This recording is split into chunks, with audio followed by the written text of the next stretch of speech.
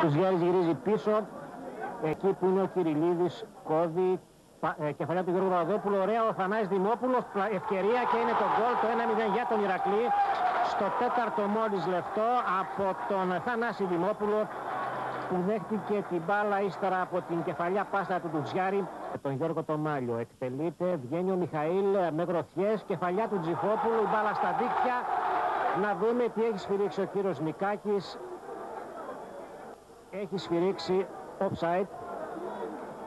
Η μπάλα κατέληξε στα δίχτυα του Μιχαήλ ύστερα από την απόκρουση με γροθιές του τερματοφύλακα της Λάρισας. Κεφαλιά του Τζιφόπουλου, η μπάλα στα δίχτυα. Κάποιοι όμως παίκτες του Ηρακλή ήταν σε θέση offside.